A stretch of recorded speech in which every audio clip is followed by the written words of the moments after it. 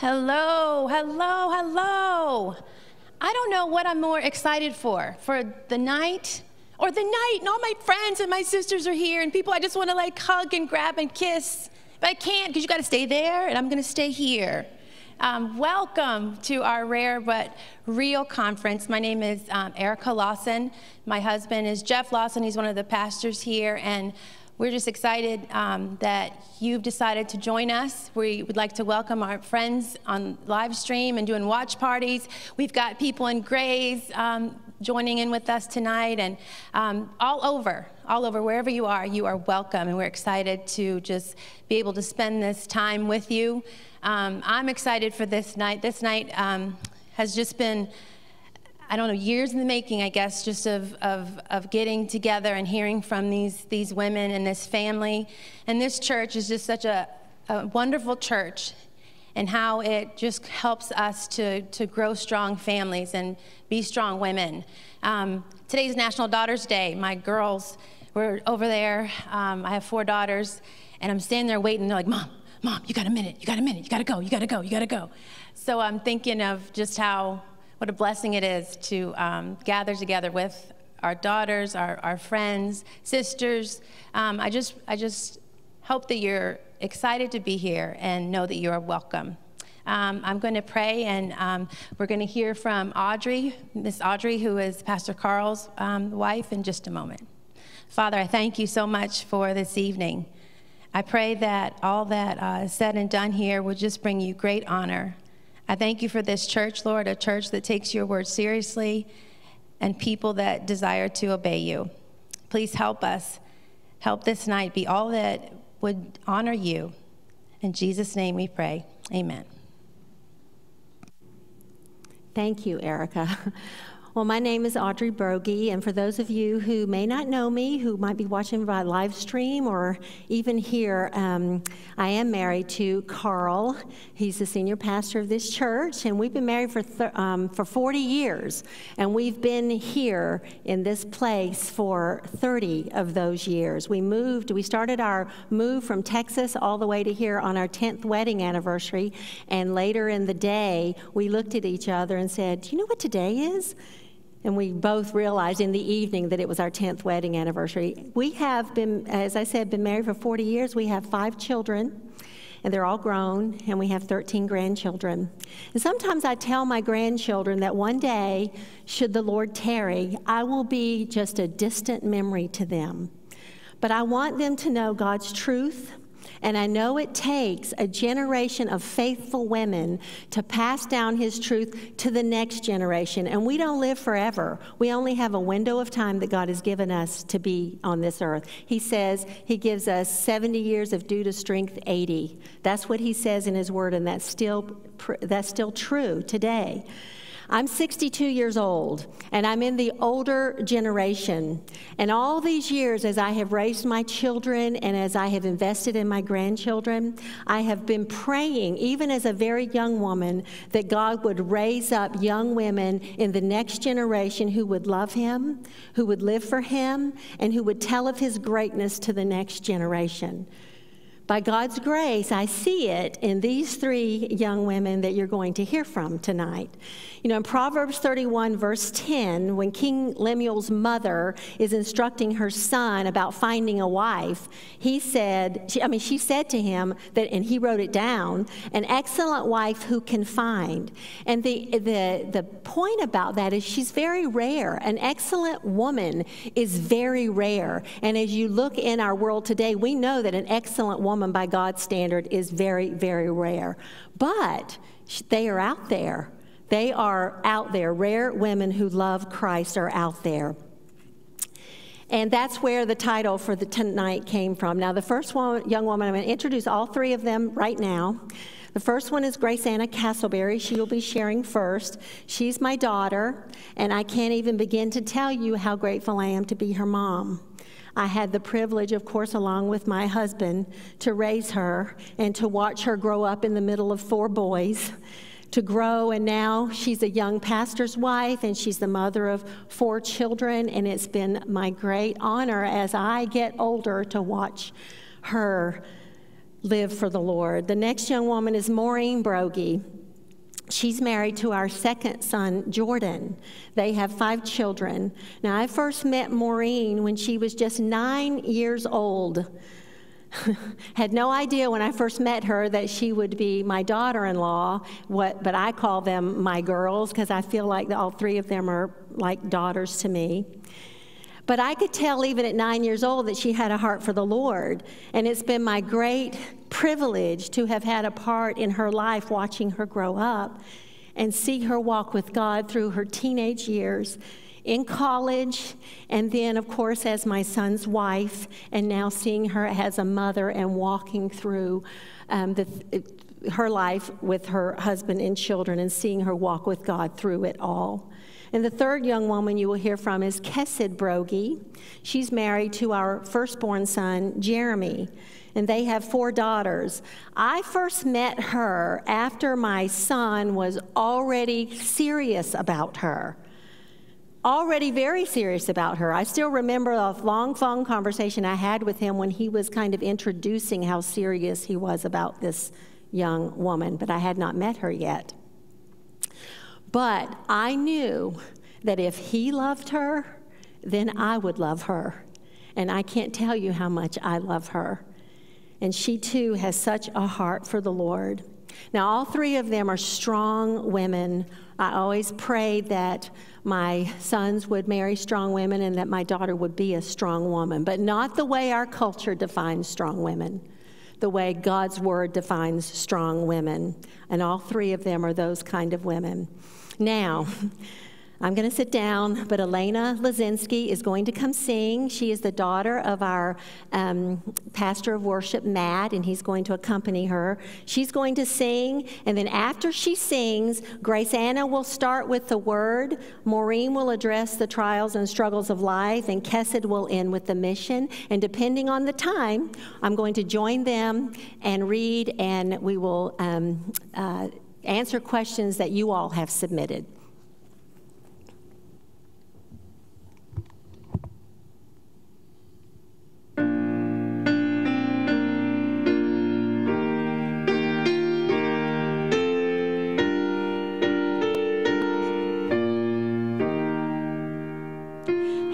Great the chasm that lay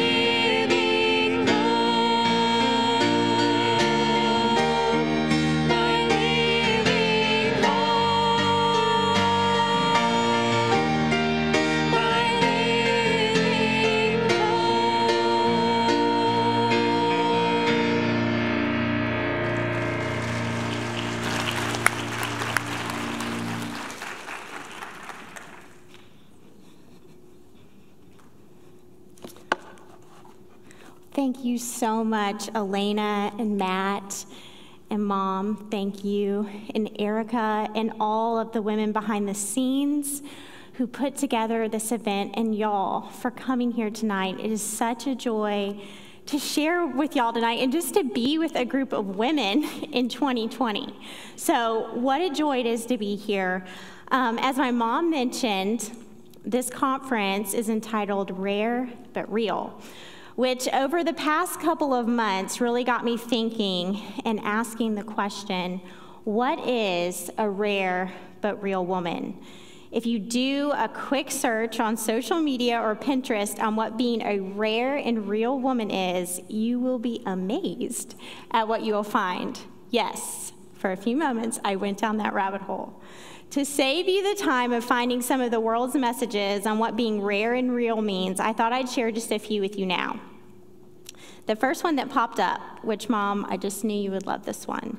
It said, Say what you feel. It's not being rude, it's being real. Here's one on being special, unique, and rare. And I chose to share this one because it's one I've seen a lot in many different forms. It says, I choose to stop apologizing for being me. I release negative self talk. I love the person I am becoming. I believe in myself and my abilities. I deserve all good things. I am powerful. I accept myself unconditionally. I acknowledge my own self worth. I am radiant. I am enough. And then the next one I couldn't help but share. It said, You are enough. It's ridiculous how enough you are. And then the last one I share, this one at the end because I'm going to come back to it, but it says, Five things to remember today. You are valuable, you are enough, you have a voice, you are seen, you are capable. What's fascinating to me about these memes is not just the fact that they are half truth lies. So there's truth in them, they're half truth lies, but that makes them the most dangerous type but the fact that the majority of women in our relativistic culture believe them, it seems like the majority of women think they are powerful, think they are enough, think they are unique, seen, capable, real. But the sad truth is, if you believe that, you're actually just like everyone else. You're not rare. Just repeating these captions to yourself doesn't make them true. Yet apparently, we are so fragile that we need to be reminded incessantly how special we are. And that certainly doesn't make you real either. Being real means that you actually understand who you are. And you can only understand who you are when you know the living God. And that, as my mom mentioned, is a rare thing. I want to talk briefly tonight about someone who was both rare and real. So if you have your Bibles, you can turn to 1 Timothy chapter 1, verses 12 through 17. This letter was written during Paul's later years after he was released from his Roman imprisonment, after he's already completed three missionary journeys. And so, verse 12 starts like this I thank him who has given me strength, Christ Jesus our Lord because he judged me faithful, appointing me to his service. Though formerly I was a blasphemer, persecutor, and insolent opponent, but I received mercy because I had acted ignorantly in unbelief. And the grace of our Lord overflowed for me with the faith and love that are in Christ Jesus. The saying is trustworthy and deserving of full acceptance that Christ Jesus came in the, into the world to save sinners, of whom I am the foremost. But I received mercy for this reason that in me, as the foremost, Jesus Christ might display his perfect patience as an example to those who are to believe in him for eternal life. To the King of ages, immortal, invisible, the only God, be honor and glory forever and ever. Amen. I want you to notice especially how Paul describes both his message and himself. In verse 15, he says, The saying is trustworthy and deserving of full acceptance that Christ Jesus came into the world to save sinners, of whom I am the foremost. In this statement, the great apostle Paul is recounting his testimony to Timothy. He is being real with Timothy. He is not telling Timothy how great he is, or how special he is, or how worthy he is. He is saying how unworthy he is, what a sinner he is, This is what happens when you encounter Christ. You truly see yourself as you really are. Paul is saying this I'm a sinner, and not just that, but I am the chief sinner, the first of sinners, because he was a, the persecutor of the church. He's not trying to bolster up his reputation by saying how lovable he was to God, and that's why God chose him to be an apostle. In fact, if you look at verse 13, he says that Christ Jesus judged me faithful, appointing me to his service, though formerly I was a blasphemer, persecutor, and insolent opponent. Can you imagine being on a search committee for a ministry position and a candidate comes in and you ask him or her his qualifications for the position and they say, Well, I was a blasphemer, a persecutor, an insolent opponent? You might sit quiet for a moment and then say, Well, I think we're done with questions for the night. Yet Paul is saying that the Lord chose him to be an apostle while he was a sinner, opposed to Christianity. The same is true of us. The Lord chose each of you not because of your inerrant goodness, but while you were a sinner and opposed to God. Romans 5 8 says, But God demonstrates his love to us in that while we were still sinners, Christ died for us. So, what this means is that inherently we aren't enough, we aren't good, we aren't powerful. And even though we are made in God's image, we were so weak we couldn't save ourselves. We needed Christ to come to this earth to do it. This weakness doesn't just stop when we, once we become a Christian.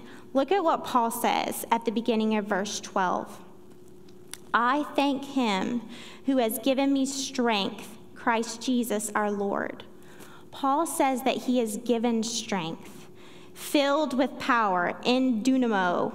It's where we get our word dynamite. Grant, help me with this part.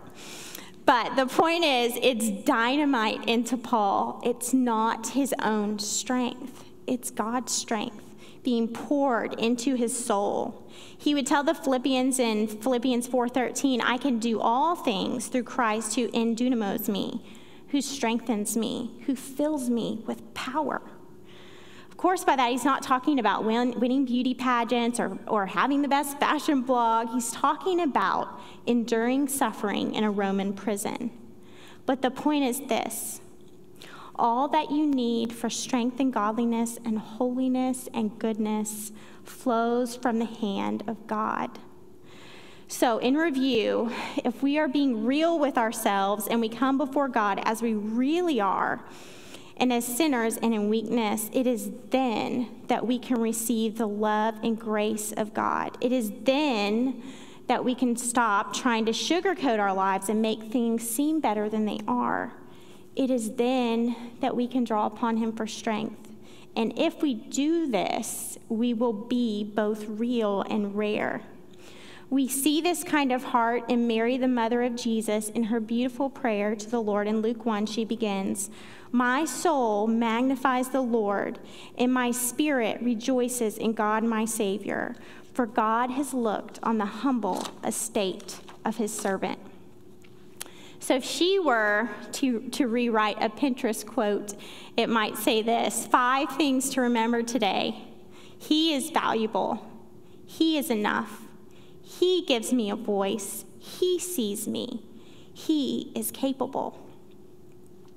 I want to end our time and just close with some points of practical application how to do this and how to walk in the Lord's strength because this is where I live. with four young children and being a pastor's wife and homeschooling and COVID, this is where I'm living. So there are three main ways that make a woman truly rare in these days. The first is that a rare but real woman lives in community with other believers. Second, a rare but real woman prays. And third, a rare but real woman goes to the scriptures. And these aren't three ideas I came up with. These are three practices that Jesus modeled for us. In his time on earth, Jesus lived in communion with other believers. He was a man of prayer and studied the scriptures. So let's look first at a, number one, a real but rare woman lives in community with other believers. There are 59 one another's in the New Testament. God knew that we needed one another. The body of Christ needs you, but you also need the body. Being active in your church expresses your need and dependence upon God. The church is where Christ ministers to you. It's where you encounter the Word of God outside of yourself. I have always, really, ever since I was a little girl, looked forward to Sundays all week long, which, of course, I was a part of this church, so it made it very easy to do. But Paul says in 2 Corinthians 7 6, but God, who comforts the downcast, comforted us by what? The coming of Titus. We need community in the body of Christ, really need one another. I think we know that now more than ever. Paul says in Ephesians 4 that the church is a body. A body cannot exist as merely a hand or an eye or sternum or skin. We need one another and we need one another's gifts and encouragement. Unfortunately, it is rare to find a truly Bible believing community, but the most real thing you can do is once you find that community, plug in and minister your gifts and be ministered to by others' gifts. Secondly, a rare and real woman prays. Prayer is literally dependence upon God, seeking the Lord in weakness and when strength is needed. When you don't pray, you're saying to God that you are sufficient, that you are enough, and that you don't need Him. A long time ago, I heard Elisabeth Elliot share five ways to direct your prayers, and they've really helped me pray more and have tangible ways to pray with my children. They're simple, but the first is thanksgiving. And I will always ask the kids before we pray together, whether it's before a meal or we're heading somewhere, I'll just say, guys, what can we thank God for? And I feel like in this season that has been challenging for so many. I love the simple ideas that my kids come up with too. Charles will say, We can thank God for my Brio train. But right then and there, we can thank God. And then the second thing is repentance. And I always try to model this one for them, and it usually means confessing my sin to them and the Lord, which quite honestly is very easy because it happens a lot. But, you know, just practically speaking, once we leave the house or something happens, I can just say to them, kids, we need to pray, and I need to confess my sin to y'all and to the Lord for being impatient with you. And so it's just a simple way that I can tangibly pray with them. And then petition is bringing our request to God knowing that He may answer differently than we ask, but boldly asking and trusting Him with the answers, which, of course, this is an easy one um, for us to pray together with, but I think it's so important that we teach our children what this looks like. And, Mom, I'll never forget the lesson you taught me on this. You know, when I was a young girl, I was taking piano lessons, and I would go take my lessons, and then we, I would practice at a neighbor's house because we did not have a piano. And I remember mom went on a run one night, and I was riding my bike with her, and we were kind of talking about this dilemma how it's really not good to take lessons if you can't really practice very much. And um, I was saying, well, maybe I shouldn't take lessons. And mom said to me, well, Grace Anna, why don't we ask God for a piano? And let's just pray and ask Him. And let's pray and ask that He'll provide something by December. I don't know what month it was, I think it was early in the fall. And she said, Let's not tell anyone, let's just pray that God would provide a piano for you. And I said, Okay, okay, well, I'll just pray that we could find some old piano that doesn't that someone doesn't want or need anymore.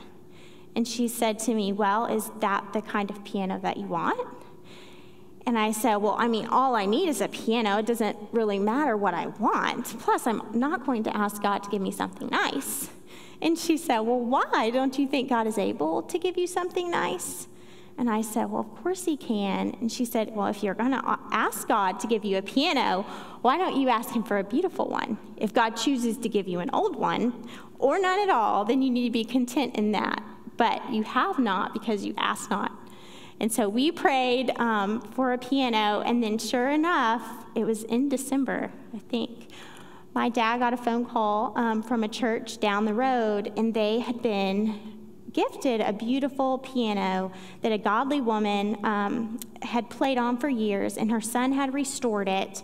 And the church was now getting a new piano, and they wanted to um, bless someone that, with this piano who would really appreciate it and love it. And someone mentioned my dad, and they were willing to sell it for a very affordable price. And God gifted graciously that piano um, to us, and it's still at my parents' house now. But in that little way, that practical way, um, God taught me a huge lesson that I've never forgotten that He hears when we pray. The fourth one is intercession. And adding an intercession whenever we pray has enabled us to pray and love on more people than I ever thought we could. We'll do it at mealtimes. Who can we pray for? Who's hurting right now? Who's in the hospital? And we pray together. And then the fifth one that, she, that Elisabeth Elliot mentioned was memorize prayers. And so that's just kind of a fun one the Lord's Prayer or hymns that I sing to my kids at night that are prayers that they'll remember for a lifetime or things that I can pray when I don't know what to pray. So, lastly, a rare and real woman goes to the scriptures. When you study God's word, you're going to see again and again the law of God, which is going to show you your failures and insufficiencies. But you are also going to see the grace of God and the power of God that is going to strengthen you and sustain you. Psalm 1 says, how blessed is the man who does not walk in the counsel of the wicked, nor stand in the path of sinners, nor sit in the seat of scoffers, but his delight is in the law of the Lord, and in his law he meditates day and night. 2 Timothy 3:16 says, "All scripture is inspired by God and profitable for teaching, for reproof, for correction, for training in righteousness, so that the man of God may be adequate, equipped for every good work." God's word is sufficient for every good work. It's sufficient for doing the dishes. It's for sufficient for mothering a whiny child. It's sufficient for the challenges and the joys of life. To do, to do this well, I found a couple things to be helpful for me in this season of life. And the first one is just to have a plan. So last September, I actually chose Robert Murray M'Cheyne's Bible reading plan. You can Google it and find it easily. But I um, started that and I just decided that I was going to use it as a checklist. And instead of getting really discouraged when I missed a day, I was just going to check off and not look at the dates and just keep going. And I, let me tell you, I had no idea last September when I started that how much I would need God's word this past year. I thought my challenges were just being a new pastor's wife, living in a new city, having a newborn, and three other children to homeschool and disciple, and then 2020 hit. And I have been more convinced than ever. God has used this past year more than ever to show me my need for the Lord. A real but rare woman recognizes that she needs God's word the way she needs food. Practically speaking, when I let go of my ideas of what a quiet time should look like, I was able to feed on God's word in a brand new way. Instead of always needing an hour to sit down and have quiet, I just grab God's word when I can. I pick it up when I have five minutes. I listen to it when I'm getting ready for the day. And sometimes, sure, I get up and I'm able to read in the dark. But more often, I'm reading here and there and everywhere. And when I fall behind, I just keep going. And I see that God is growing me and that I'm not starving, I'm fed. Well, there has never been anyone more rare and real than the Lord Jesus. When he was tempted, Jesus was dependent upon the scriptures, quoting Deuteronomy. When he was under great duress and suffering, Jesus was dependent on prayer in the Garden of Gethsemane.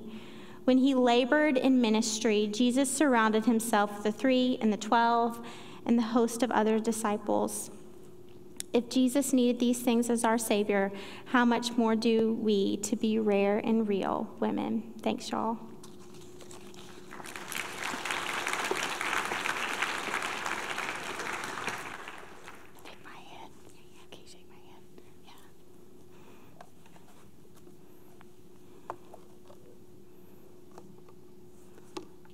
First, I want to, before I start my talk, just say it feels so good to be back here at this church. It's actually been quite a while since I've been back here. And it just feels so good. And you ladies are clearly so filled with the Spirit and love the Lord. And it just emulates from your faces as I look out into the audience. And it's really encouraging. So thank you. I stand before you this evening as a woman who has experienced much suffering. I don't say this lightly, nor do I say it believing that my suffering is greater than yours. All suffering, whether death or sickness, is different. And even if we have experienced the exact same sufferings, it would look different in my life versus yours. God is not surprised by our suffering. In fact, He allows it. Our suffering is not about us, it's for God's glory and for our good. God is sovereign and He has ordained each of our days. And while I believe this statement, it doesn't mean that I always accept what comes my way easily. It's hard sometimes to accept the things that the Lord has allowed into my life. My days can be very difficult at times, difficult to see, and certainly to understand what God has in mind for my life. There have been days of questioning for me, not questioning whether or not God is real, but crying out to the Lord and asking Him why. Why is my youngest daughter no longer here on earth? Why do I live with a debilitating disease? Why? Why do these things have to be so hard, yet you call me to walk through them? It has taken me years to understand that God can handle my questions. Asking God why doesn't mean that I don't trust Him. In fact, He desires to be my closest friend, and He wants me to pour my heart out to Him. Besides, He already knows everything that I'm thinking before I even think it. He can handle it. He can handle my questions. He made me and He ordained every day of my life. But with the deep questions, I've learned that I'm called to trust. I'm called to walk by faith and not by sight, as 2 Corinthians 5 7 tells us. You see, God has called his children to a life of unwavering obedience, not obe- an obedience that requires faith. Faith and obedience seem to go hand in hand. It's not my job to have all my questions answered before obeying the Lord. Just read Job 38, 1 through 18, if you're wondering about that. No, God calls me to honor him and to obey him regardless of my level of understanding. And I have to be okay with not having all the answers. I'm not God, and it's not my job to have everything figured out before I obey him. I must walk in faith.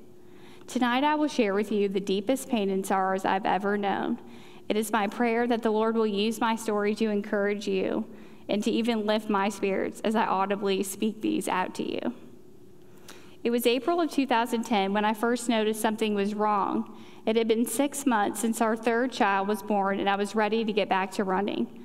Before Claire was born, I was running 30 to 35 miles a week. I'd worked hard for multiple years to become an excellent runner. And I also really loved it. There was nothing quite like ending a long day taking care of children. In fact, at the time, I had three under three with going out for a run to clear your head and to refresh your mind and heart. I had read a lot about running in the years prior, so I knew that my body would benefit from a short hiatus. Claire was born the end of 2009, and I had already decided that I would take a six month break. It was now April of 2010, and I was eager to get back to running. I settled the kids into the gym's childcare, turned on some music, and began running on the treadmill. After three miles, my leg gave out. I took a deep breath, stretched, and got back on the machine, but I just couldn't do it. I went down the stairs, headed to pick up the kids, thinking to myself, that was strange. In all these years of running, that has never happened to me. I continued running, and my leg continued to give out. I was determined to get back to six to eight miles per run. As much as I tried, though, I just couldn't advance. I was only declining. It was time to go see an orthopedic doctor. He told me I had runner's knee, something that was very common in women after childbirth and hip expansion. He sent me to a physical therapist. It was certain after a few months I'd be back to running just as I had been previously. I won't bore you with the details, but I will just say that running only got harder and more symptoms were cropping up. I was diagnosed with multiple sclerosis April 1st of 2011, and sadly, that was not a joke. um, Jordan and I were devastated. We committed my body to the Lord, begging Him for healing. We always ended our prayers with, "But not our will, but yours be done." We believed then, as we do now, that God was not surprised by this diagnosis. We continue to ask for healing, trusting that this may not be God's plan for my life. But until God clearly said no, we would continue to ask.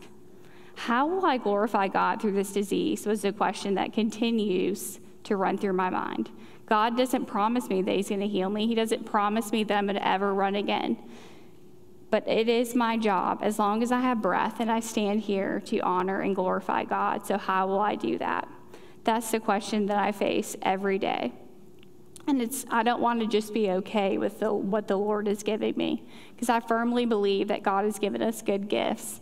And even though this disease does not seem good most of the time, I know that the Lord is fully aware of it and that He allowed my body to be this way. So I really want to honor and glorify Him through it.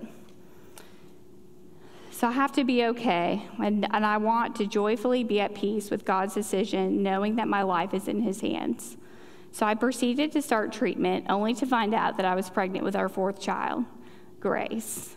And I will tell you that she was such a bright light in such a dark time. We did not plan to have her. Um, and when we found out, we were so excited. Um, God used her and He continues to use her and our wife greatly. I started my monthly infusions about 12 months later after Grace was born, and I nursed her for a short time. This infusion would keep the disease from progressing. We were advised against pregnancy while on this drug. If we decided we wanted to try for another child, the doctor advised us that we should, I should get off of the medicine and try in a few months. We were at peace with this plan. We were thrilled with the four children God had given us. We were thrilled with the doctor God has, had sent me to and the plan that He had for us. We were at peace. I was grateful for the children. Fast forward now, February 2014, two years of successful treatment and a plan to keep moving forward. God continued to answer many of, answer many of our prayers, but He had not cured me. It was okay. We trusted him. Yes, there were hard days, but we were trusting God through it. My faith in the Lord was not dependent upon my healing. I really knew and understand that God owes me nothing. It was only by His grace that I am redeemed from sin and promised eternity with Him. And for that, I am grateful. While going about my daily tasks as a wife and mother, I realized that I had missed my monthly cycle. I was a little surprised by this, but not too much. I was getting older, and life, life can be stressful at times to cause a natural de- delay. I waited about a week, and I just knew that I was pregnant. This was confirmed by a test. And as I lay on our bed that evening, as Jordan came in from work, it was a late night for him. I told him that I was expecting our fifth child. We were both very surprised and felt a little overwhelmed, to be honest with you we canceled my next infusion. That was to be in three days from that day. We met with my neurologist, and he was so excited for us, which was really calming and peaceful to our souls at the time that our doctor, who does not know the Lord, but was excited for us to have another child, he said that we had nothing to be worried about. In my head, I was saying, Nothing to be worried about. You advised against pregnancy while on this drug. He went, to say, he went on to say that women have had su- successful pregnancies while on this drug, but that it was just still fairly new and they like to monitor pregnancies. I was in a little bit of, I was in denial. And if I'm honest, at the time, I wished that I was not pregnant. I was scared and I felt overwhelmed and I questioned my ability to care for another child. And on top of being pregnant, my ability to walk just became increasingly more difficult. In fact, it was while I was pregnant with our fifth child, Jane, that I got a handicap sticker to make things a little more convenient for me. I was feeling very guilty for not being excited about the pregnancy at that time. In fact, I pulled out one of my old journals and these words that I had written. This was in April of 2014. I said, Lord, please forgive me for not feeling excited I know this pregnancy is your will for my life. I know that once the baby arrives, I will be so elated and I will not be able to imagine life without him or her. But right now, I just need your help. I'm scared and things look dark and I need your help. The Lord answered this prayer beyond what I could have ever asked or imagined. Our children were so excited to hear of another sibling. In fact, we would sit around the dinner table guessing the gender, choosing names. Um, and my heart was just getting more and more excited excited that the children felt so excited for him or her to come, and excited just knowing that this was of the Lord. And our whole family was waiting with open arms. So we answered that prayer. We were getting more and more excited, and we couldn't wait to meet her. After finding out we were expecting a girl, Jordan and I went away for our 10th wedding anniversary. And we decided before we took that trip that we we just asked the Lord, Lord, will you please in this next five days give us a name? We um, we wanted her name to be different. And not that our other four children were not special or unique, but this pregnancy was different in that we did not expect to have another child. And it was so clear that it was of the Lord that I had this baby in my womb. So we went about our trip and had fun. And Jordan said to me, What about the name Jane? Um, and I said, I think I like that. And he said, It means God's gracious gift. And immediately we both just said, Yes, that's the name. She is a gracious gift. Um, she was such a gracious gift, as are all of our children. Physical tasks were getting harder for me, and I just never imagined another baby would be in store for us. So the fact that God had allowed me to be pregnant and given us a name, and everyone was so excited, and she was healthy and growing just as she should be, the Lord was answering my prayer to make my heart happier of the situation that I was in. God has a perfect plan for each of our lives, and He saw it fit for Jane to be in our family. He was entrusting us with another child to raise for his glory. Little did I know of the great pain that was forthcoming. It was July 24th, 2016. It's a day that I will never forget, and it's also the day that has forever changed my life. It was a normal Sunday morning. Jordan had gone on an early run, and I was up with our oldest four children. The six of us ate breakfast together. I picked up the kitchen, got Jane's cup of milk ready, even set her banana to the side. I went into the bathroom and finished getting ready. I remember the hot rollers in my hair. I was in the bathroom finishing up getting ready. I ironed the dress that Jane was to wear, and then Jordan went to wake her and dress her for church. Claire was with Jordan when they entered Jane's room. He noticed how still she was and how it didn't appear she had moved very much during the night. Jordan set down his coffee and went to wake her. This is when he noticed discoloration on her arm. He quickly swept her from the crib to check the rest of her body. He began yelling at me to call 911. I came from the bathroom with my phone as he was rushing down the stairs with our daughter in his arms. At the time, I had no idea what had happened. Had she fallen? Did she have a fever? I just quickly dialed 911 as Jordan lay her lifeless body on the rug in our foyer. The operator began to tell us how to perform CPR.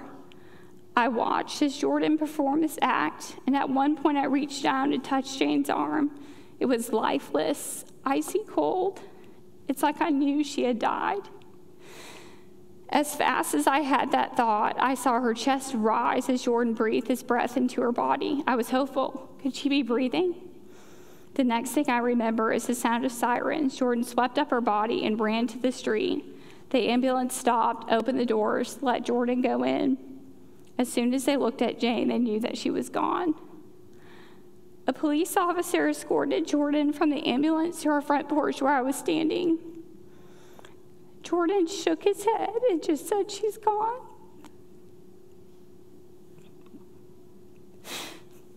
We embraced each other and began to cry.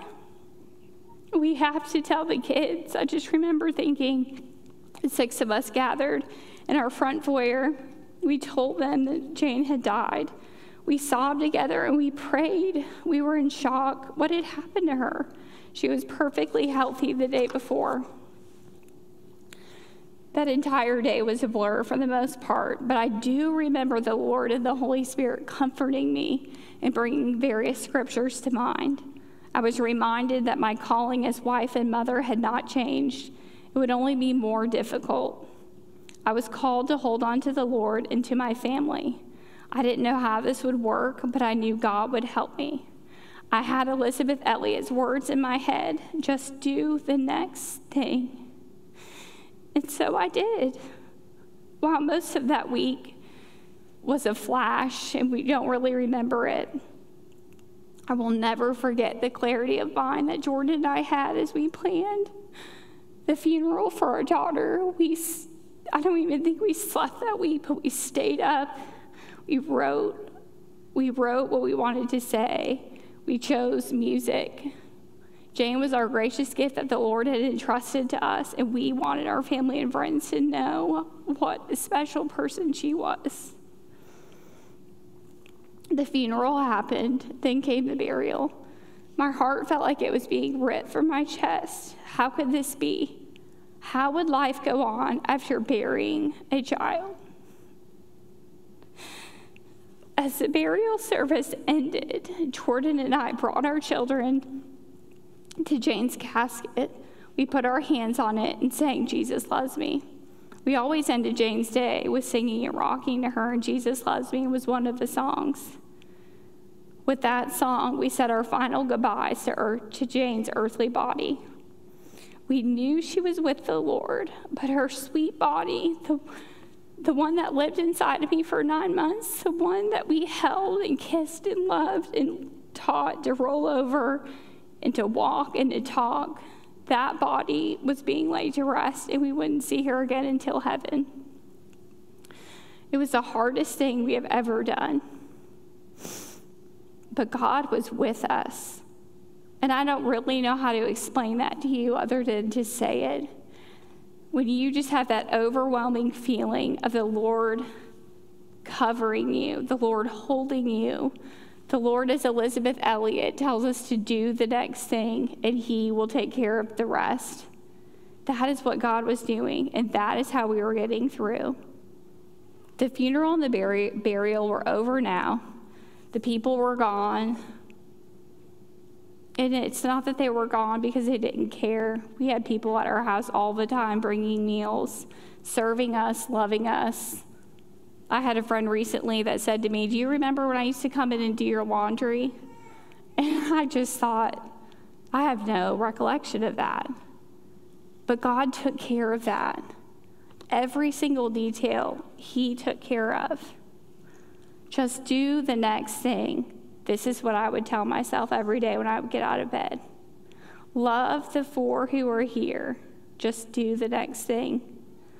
Claire said to me in the weeks following Jane's death, Mom, our family is like a puzzle that now misses a piece. Jane is gone and we are here. The puzzle piece is missing for now. But when we all get to heaven, it will be right. How God used my six year old girl that day. She was right. Our family here on earth will always be incomplete. Jane is gone and we are here. The puzzle piece is missing for now. But when we all get to heaven, it will be right and it will be so good. And I love that verse now more than ever. A day is like a thousand years, and a thousand years like a day. In fact, my oldest son always says to me, We're X amount of days closer to being with Jane again. And that is how I choose to think. We are so much closer to being with Jane again. And then when we are all together again, it's going to be like we were never apart. Life has been so hard with Jane. There are days that seem like I won't make it. But while the weight of her absence has been heavy, God has eased the sting of death as time has passed. It's not because Jane is forgotten. No, we will never forget Jane. We speak of her daily. But I do believe the sting has lessened because we have learned how to move forward, remembering her and honoring her life. Grief comes more in waves now. It's not predictable. There's not necessarily a certain time of year that's harder than others. Yeah, sure, birthdays and death days and holidays are always hard. And as our other living children make and reach other milestones, it's also a fresh sting, a reminder that Jane will never meet those here. But we know that Jane is with the Lord, and that is where our hope is with the Lord. We cling to the promises of Psalm 121. I lift up my eyes to the hills. From where does my help come? My help comes from the Lord, the maker of heaven and earth. God promises to help us, and we have seen him do this over and over again. Don't ever doubt God's word. In fact, as GraceAnna was talking and sharing of the importance of knowing God's word, ladies, I will tell you that all the time before I became a wife and a mother, God was preparing my heart for that deep, deep loss. And I was memorizing scripture, I was reading things. And sometimes, ladies, you're going to read a passage and you don't understand what it says. But as you continue to walk with Him, He's going to show you. And I'll tell you, for the three months after we lost Jane, I don't even know why, because I wasn't mad at God, but I didn't open my Bible. I read a lot. I read a lot of other parents, bereaved parents who had lost children, and then I had my scripture cards, and I just would continuously go over scriptures in my head. But those were only there because I had done the work in years prior to store those there, to store God's word in my heart for when I would need it most. Things have been far from perfect the last nine years of my life. Ladies, there are days that are so hard, as we all have in this room. But while, while I've never stopped believing and trusting the Lord, there are times of anger and frustration. Sometimes it's hard to walk and to live in the circumstances that I have. But I go back to the scriptures, I go back to the life of Job. I really read that and I see God owes me nothing. Everything that I have is a gift. And that's how we have to view all that we have. All that the Lord has blessed us with is a gift. And He's never promised for how long a gift is for. I want to leave you with a few of the things God has taught me over this past nine years. I believe them now, and my prayers that I always will live in them and cling to these. Number one, God is sovereign. He knows the exact number of our days, He ordained them. He has a purpose and a plan for each of us. Psalm 139, verse 16 says, Your eyes have seen my unformed substance, and in your book were all written the days that were ordained for me. I think of that verse that was memorized in high school, but I think of that verse all the time as it pertains to Jane's life. Jane's 21 months weren't meaningless. God had a plan and a purpose for her. He blessed us with her life. And as long as, ladies, that we are all here living and breathing, God has a plan for each of us. It's not time to close up shop while God still has us living. He has a plan, and He wants to use you. Number two, our suffering is not about us.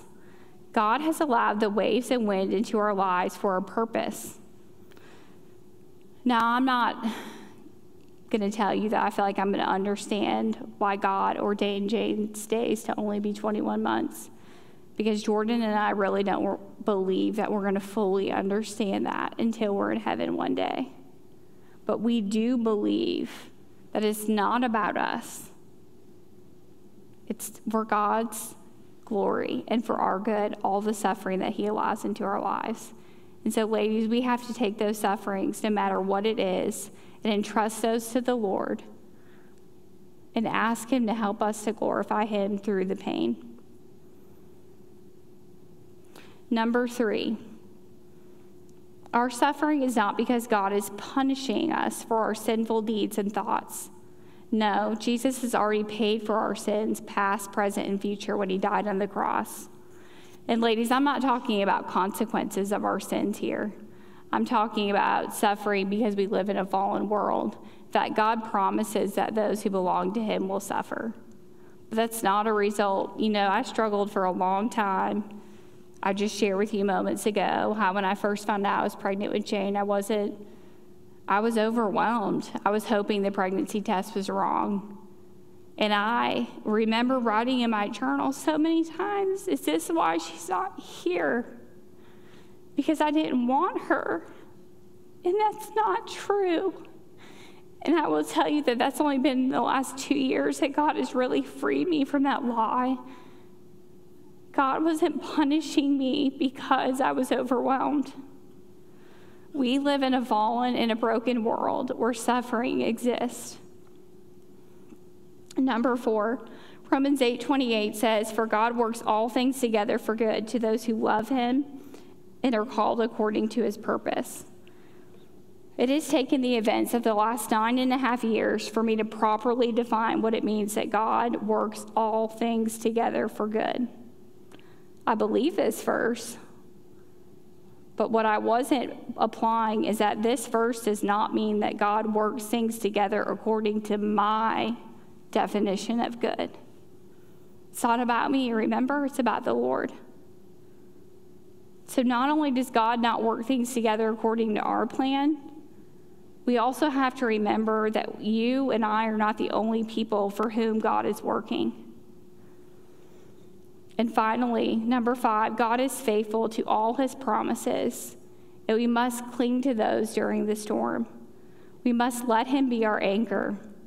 And in order to be able to trust his promises, we must know his promises. And sadly, we live in a day and age where people don't know their Bibles. Ladies, especially those of you who have small children at home, teach them God's word. They are soaking it in, they are watching you, they're watching how you suffer. They're watching how you rejoice. They're remembering all of it. But it's not about us, it's about you in those times pointing them to God and thanking Him that He is allowing you to walk through this. There have been many verses God has used to encourage me, but my heart always goes back to 1 Corinthians 10 12. It says, For now we see in a mirror dimly, but then face to face. Now I know in part, but then I will know fully, just as I also have been fully known. I cling to this verse. In fact, I tell people all the time when they ask how we're doing, it's fuzzy. I see in a mirror dimly. But one day I'm going to see Jesus face to face. And I imagine I will see him, and then Jane will come running. So I don't know in part. Remember, ladies, it's not our job to understand the whys, it's our job to obey. Thank you.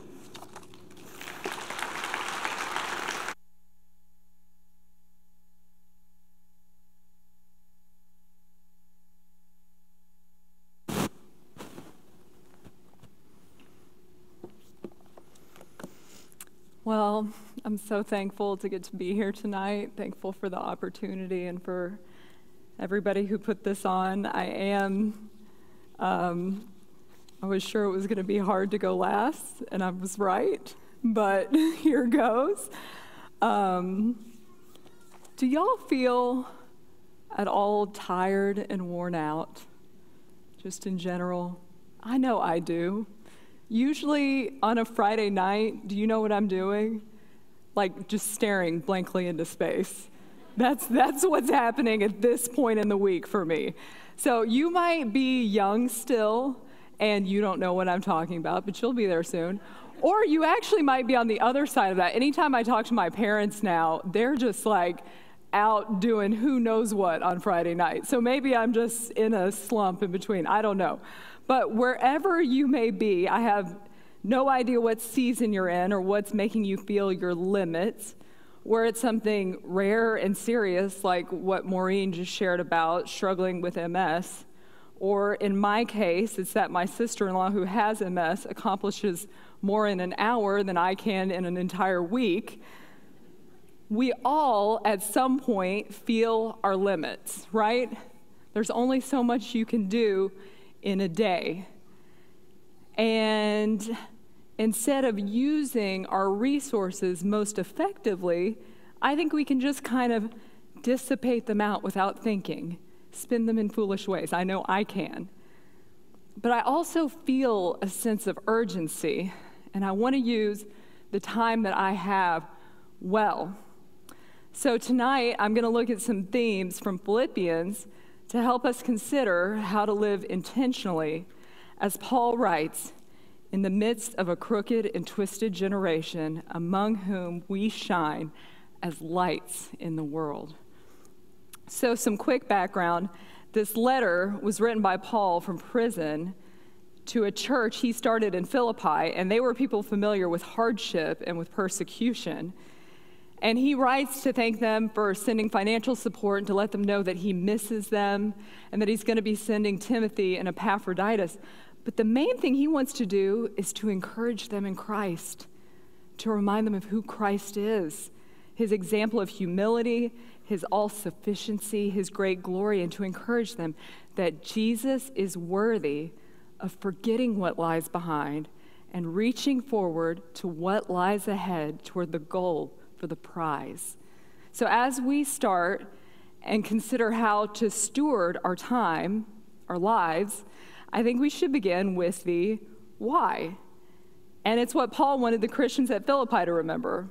And it's the glory of God through Jesus. That's what our lives should be about. That's what this talk should be about. So, to start the letter, Paul prays that they might be filled with the fruit of righteousness that comes through Jesus Christ to the glory and praise of God. So, he wants them to grow not just for their own sake or some kind of self improvement project, but for the praise and glory of God. And then the letter ends, it's bookended with, To our God and Father be glory forever and ever. Amen. So it's not like a small side point, it's actually the point. So if you're listening and you're thinking, yeah, I do want to be a better person, I want to pull my act together, then you're actually missing this, the whole point. Why would anyone care about glorifying Jesus? Because everything we're talking about doing, everything GraceAnna and Maureen talked about, from being in God's Word, knowing it, treasuring it, to suffering and enduring without ever turning away, Jesus already did it. He did it perfectly. He did it on our behalf with steadfast love for us, and He died and rose, defeating sin and death, making a way for anyone who would turn to Him in faith to be right with God. And so, for those of us who have said, I want to trade my filthy life for His perfect sacrifice and follow Him, now all we're doing is attempting to use our lives as a means to point to Him and say, This is my Savior. He did it only look to me as I point to Christ. It's His glory, He's the reason for it all. So I want to lay that as our foundation because it's the heart. Now, self glory is what the world promotes. You know, it's what I want, right? We all want to make a name for ourselves. I want credit for everything. There's nothing good that I do that I don't want people to know about and think that I'm pretty great right? I mean, I feel like we all maybe struggle with that. But it's not about me, it's about Christ. It's in the letter, it's all of the Bible, and it should be all over our lives. So, how exactly does that look lived out? Well, glorifying Jesus looks like humble service. Paul writes, Do nothing from selfish ambition or conceit, but in humility count others more significant than yourselves. Let each of you look not only to his own interests, but also to the interests of others. Have this mind among yourselves, which is yours in Christ Jesus, who, though he was in the form of God, did not count equality with God a thing to be grasped, but emptied himself by taking the form of a servant. Being born in the likeness of men and being found in human form, he humbled himself by becoming obedient to the point of death, even death on a cross. So, our Savior is our example and our goal self emptying. Now, as a homeschool mom, particularly in, in DC, which is where we live, I'm kind of like a pathetic loser. Now, I mean, yeah, in people's opinion. Now, I am a loser, but not for the reasons people might think. They think she has forsaken a career, she has forsaken anything we hold dear and so they might think, wow, she's really humbled herself. Now, I have forsaken those things to prioritize my family. But the tricky thing is, the Lord looks at the heart. And I can count myself more significant with the best of them. So I'm here to testify from firsthand experience that you can be with your children all day long and you can be volunteering in your church and your community, but you can be full of pride. So, where is it that you look to be served? Does it come out when you talk to employees, when you have a customer service problem, or with your spouse or your roommates when you think, ah, no, they need to be taking on the form of a servant? In my pride, the thing that I live for is my own convenience, and I'm tempted to despise anyone who comes my way, whether it's my children or the slow driver in the left lane or anyone who comes up with a task for me to do that I think is unnecessary. But it's not satisfying by God's grace. Isn't it God's kindness that living contrary to the way we should makes us miserable? We get the privilege of showing the world what Jesus is like by humbly serving. And instead of asking, Where are the places of honor? Who can serve me? Instead, we get to ask, Where are some feet I can wash? I don't know what this practically looks like in your life, what season you're in, but your home, your church, and your community are teeming with needs. Don't let this overwhelm you, but instead think, how can I take a single step? We can't meet all of the needs, but in His kindness, God has prepared some of them for us for His glory. So let's have our eyes peeled for the humble tasks. So, another thing to note in this letter is that we don't do it alone. It's a letter to a church. It encourages the Philippian congregation to be standing firm in one spirit, with one mind, striving together for the faith of the gospel, and to be united, to look for the interests of others. He encourages them not to dispute and even name specific people. So you don't have to be told to get along and work out disputes with people that you don't even know. Paul goes on to tell the church join in imitating me. Keep your eyes on those who walk according to the example that you have in us. So we need to be joined in a local church community, finding seasoned Christians to imitate. So, young women, be humble. You don't know as much as you think you do. I know I don't. And we need to be looking for those people who are have already walked through those things that we're walking through now and ask for their advice, ask for their wisdom, look to them. Older women, we need you to be soberly walking with the Lord. And if that's not enough, we need you to please make it easy to come to you for counsel. We need both encouragement along with the instruction. Now, I just realized I, I'm a millennial. I didn't know this, but I just figured it out. And, uh, and unfortunately, it kind of makes sense. So I just want to say, on behalf of millennials, um, I'm sorry we're snowflakes. And as you're dealing with us, just some things to remember. Maybe you're less hardy than the generations that came before you. I don't know. Just bear with us as Jesus is born with you. And I just want to say, on behalf of all millennials, I'm sorry. So there's that. All women, if a sister comes to you struggling and you point out how she actually has it easy, do you think that's going to be helpful? So this is a temptation I have, so I, I get that. We love to compare to one another. But no matter how much money you have, no matter how nice your family seems, or how smart or attractive or healthy or successful, whatever your circumstances appear to be, Satan is actively trying to destroy each and every one of us. We are all battling the world, the flesh, and the devil. So let's quit comparing and tearing each other down, and let's actively seek to encourage and build one another up. Yes, let's provide perspective, but not circumstantial perspective. Well, my house is half as big as hers. Well, I have to work and care for my kids. Well, at least you have a believing husband.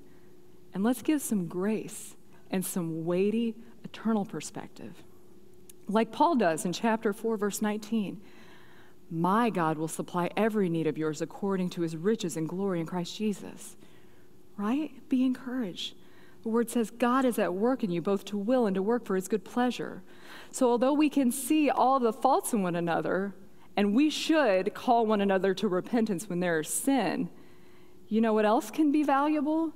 Is seeing God's grace in each other's lives and pointing that out. Okay, so we're to be united with other believers, humbly working for God's glory. Now, this was the real kicker for me the attitude. Paul says, I thank my God in all my remembrance for you, always in every prayer of mine, for you all, for you all making my prayer with joy. Paul's refrain through this entire letter is rejoicing in Christ over and over again in chapter 2, verse 14 do all things without grumbling or disputing, that you may be blameless and innocent children of God, without blemish in the midst of a crooked and twisted generation. All things without grumbling. What a radical mindset. Rejoicing with thanksgiving, doing everything without grumbling. What is your attitude? Would you say you're entitled? I know I am. Okay, so here's a completely dumb example that you should really judge me for, but it's real, and that's what we're doing here tonight, right? Rare but real. So here goes. Okay, food.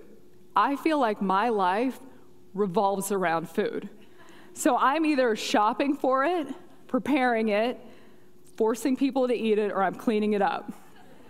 So if I make breakfast, lunch, and dinner the entire week, then I feel entitled to a trip to Chick fil A on the weekend, okay?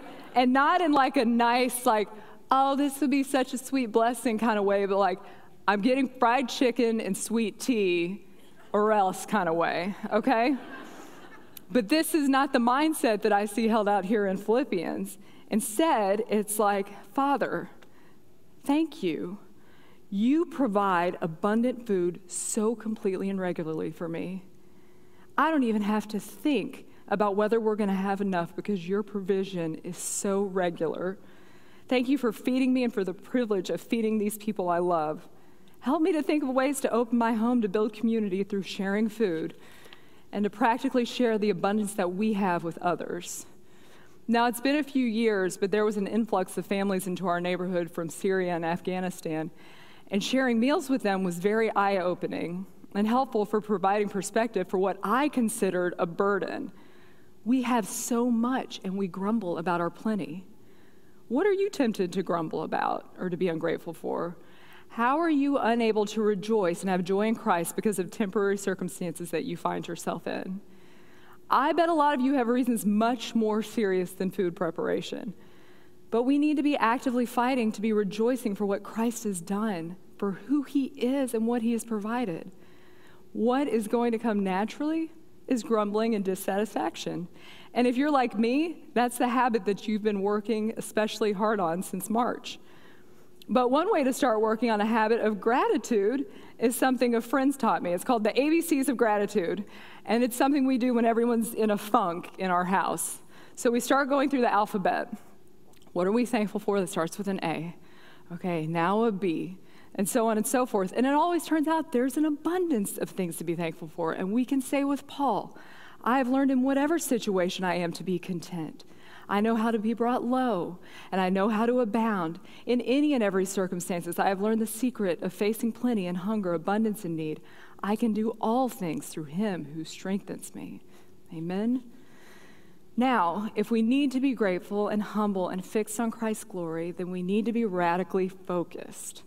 Reading further on in the letter, Paul writes, Whatever is true, whatever is honorable, whatever is just, whatever is pure, whatever is lovely, whatever is commendable, if there's any excellence, if there's anything worthy of praise, think about these things. What you have learned and received and heard and seen in me, practice these things, and the God of peace will be with you. Now, the amount of distraction out there is unbelievable. And the hard thing is, it's a lot of good stuff. I mean, even things we should be aware of. So let's take the news, for example. I love the news. I love reading articles. I love politics. But God's word tells me to set my mind on what is true and lovely. Now, is what is happening in the news true? It is true, yeah. But it's only a piece of the truth. You know what else is true?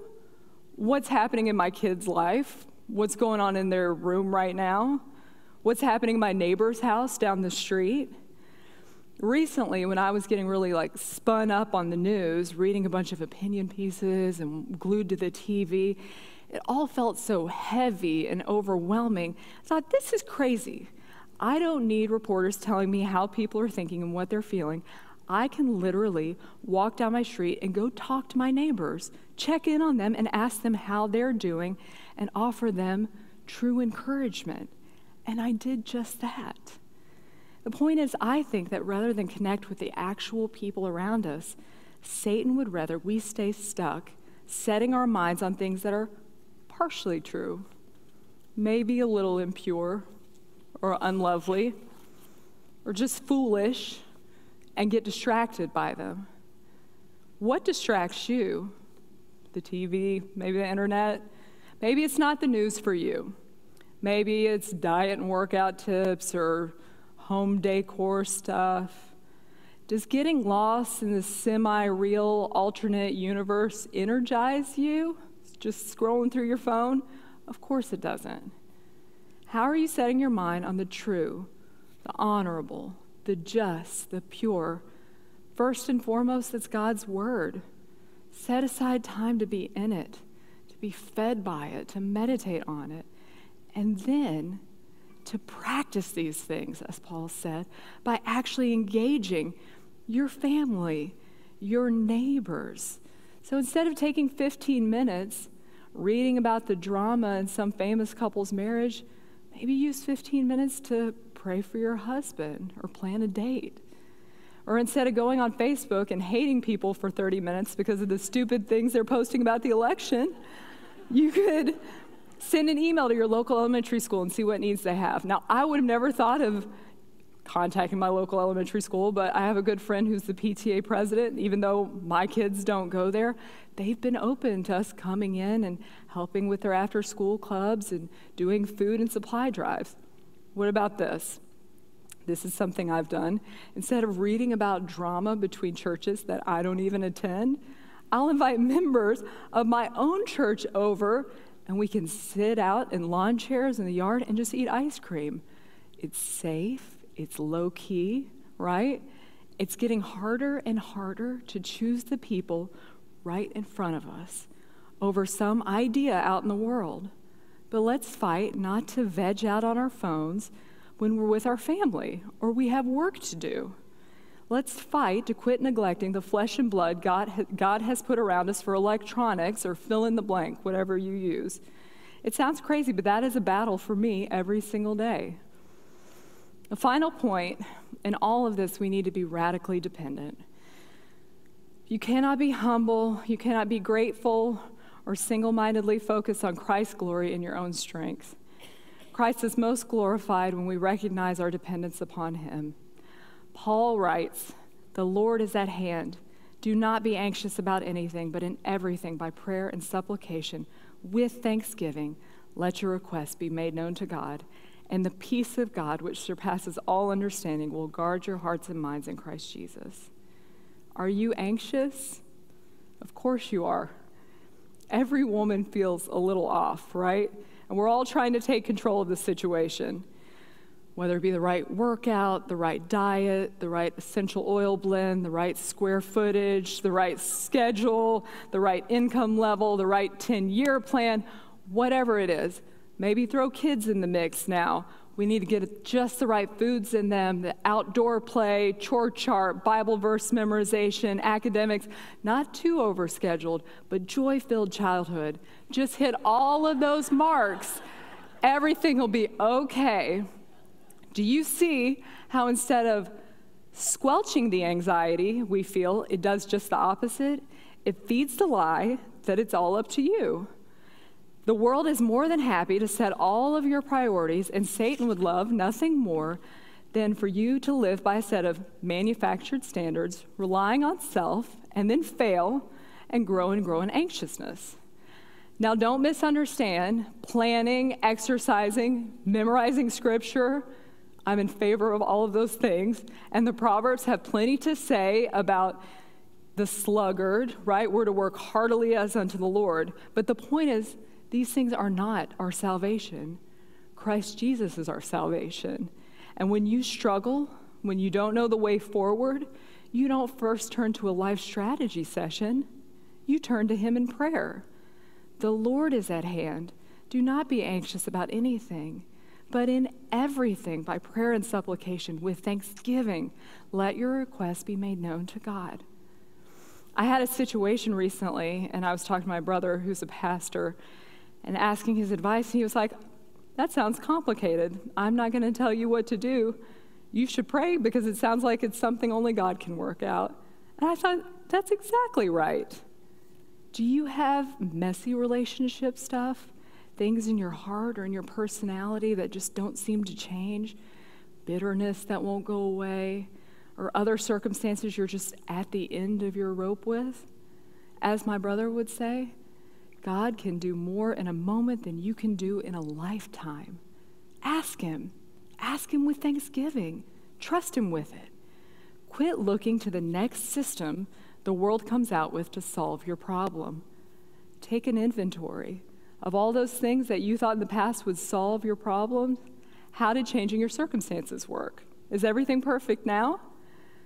Quit relying on yourself, on the solutions of the world, and lean on Christ.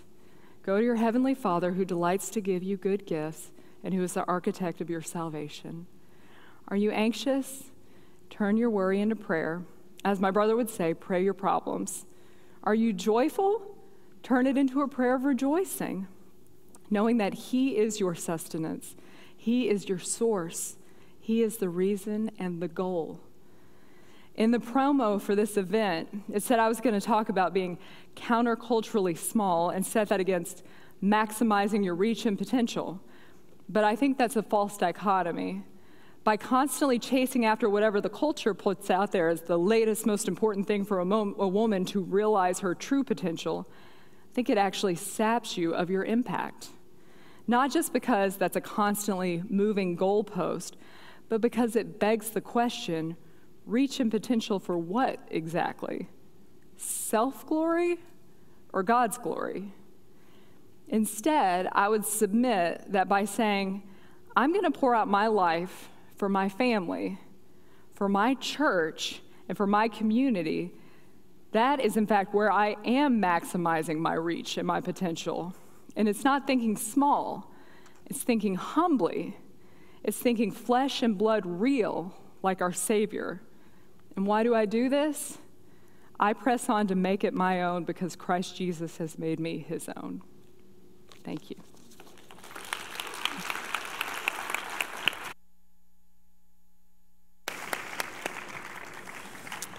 Okay, well, the next part of our evening tonight is, is dealing with some of the questions that you all have submitted. And we got um, quite a few of them, and, I'm, and we just pulled some that we're going to cover tonight. And I hope, um, until our time runs out, and then um, I hope to be able to girls, when I get back on the radio, have them have at, at, different times have them come and handle some of the questions that we'll, we will not get to tonight, um, and and handle them there. And I. I, I, have been thinking about it since that came to my mind at some point. I just really want to do that with them. So y'all pray that, you know, that'll work out. but anyway, I'm just going to start with the first one, and it, and it says this um, Could each of you tell us a little bit about how you do your personal quiet time and what you have found the most helpful in your time with the Lord? And that's for each one of you. So someone go for it. Okay, well, I guess I'll start that since I mentioned it in my talk, but. I think the biggest thing for me, the biggest like hurdle is getting that idea out of my head that to spend time with the Lord and to encounter God, it has to be quiet. Um, because I have four children, the oldest is nine, and the rest are younger. And there are there are days actually where I am up before them and I'm able to actually have quiet time with the Lord, and I treasure that time so much. But reading God's word is about knowing the Lord and about who he is. And a lot of days that's just not the case. I actually think my kids must know when I get up earlier because then they're get up earlier. I remember we lived in uh, when we were at seminary. We lived in apartments, and I would stuff like a towel under their door because I was convinced that they could see the light coming out. But that being said, I just discovered that. Um, the Lord is, His word is there all day, every day, and I need it. I need it like I need food. And if I was hungry and I didn't get to sit down and have a great breakfast, I wouldn't say, well, then I'm just not going to eat today. Today's ruined. No, I would, I would grab a bite to go. And I think just um, reading God's word when I can, like I mentioned before, um, and actually reading the whole counsel of God. So I do um, think that like reading the whole Bible is is important, and so I think having a plan where I'm reading the whole Bible and and doing it when I can, and knowing that like I think Maureen, it was you that I don't know how God's going to use a verse, but He's going to use it at some point, and um, that's been super. So so really that's what i do is just read god's word as much as i can and um, i've just found that to be so helpful so. So i actually do my quiet time a little later on in the day. I usually start out the day like pretty fresh. I like i work out before the kids get up um, and and i'm going pretty good but like i, I take a, a deep dive in the day. and there's like mid afternoon, that's the time when I'm like, I could really use some time with the Lord, and so that we can make it on in through dinner time without, you know, things getting violent. I'm just kidding. but, um, so I, when the kids used to nap, they don't nap anymore. I do love a nap, but it doesn't happen real often. But that during that, I we still have quiet rest time. It's not real quiet. It sounds like they're moving furniture around, but I still go in my room in the afternoon, and that's when I sit down and I've just been like outlining through the Bible. I just started in Genesis because I'm like, I've been through chunks of the Bible through my whole life, and my parents were faithful to teach me God's word, but I just wanted to have like a good full outline. So that's what I've been doing for the last long time. So I'll just read through like three chapters, and I've got notebooks that I've been going through, just kind of write down, okay, what's happening, mm-hmm. who's doing it, and then I'll just hand write out some scriptures that strike me. And that's where I am. And I spend some time in prayer, you know, mm-hmm. praying for our pastors, praying for my husband, children, for our community just things going on. Mm-hmm. So spending time in prayer, time in the Word, and and that rejuvenates me more than the other thing that I'm tempted to do during that time, which is like just read a bunch of news articles, gobbledygook. yeah, exactly. So that's when I do it. It's like mm-hmm. when I'm crashing in the afternoon. Mm-hmm. I would say for me over the years, it's definitely looked differently. Um, sometimes it's at 5 a.m. Mm-hmm. I, like Grace it, always feel like whenever I'm up earlier, the kids are up earlier. So I pretty much squashed that and said, let's just get the extra 30 minutes of sleep. but I would say now in my life, my kids are 14, 12, 10, and 8. I really go to God's Word right now with the issues that we're dealing with and walking with with our children, uh, whether that be at school or a conversation they had with a teacher or mm-hmm. another peer. We discuss that, and then I like to be able to study on my own, whatever the issue may be, so that when they ask, because your kids are always going to ask you really hard questions. And one, I think it's great to be honest with them, as I've told, especially my boys, so many times. I don't have the answer right now, but I want to like help you and guide you and find this. Mm-hmm. So I found as a mom of not tiny people anymore, but still very dependent, and seeking me out more for advice that is I benefit so much in my walk with the Lord by studying what's relevant in their mm-hmm. lives. And that sometimes stays, the subject stays the same for two weeks. And then it's daily going up and down or I have two daughters, you know, emotions are flying high. And I'm definitely like my dad, like, get to business, dry up the tears, let's get on with the next task. And so it's not always easy for me to like get into the muck and mire of emotions, but that I'm growing in that and asking the Lord to help me in that and to see that God, just like I said, we're all created uniquely and differently, and that's how God's gifted them to help train them with that. So I feel like for me, my quiet times currently are focusing on issues that my kids are dealing with. Anything else before we move on? Do you want to say? Okay. Okay, the second question is this. Um, each of you have larger families. So I would love to know how you spend the time needed with each child on a day to day basis and how you deal with the struggles in your own life while still needing to give out to them. I can start that one off. Okay. Um, that's a hard question and a hard task for sure to, to make.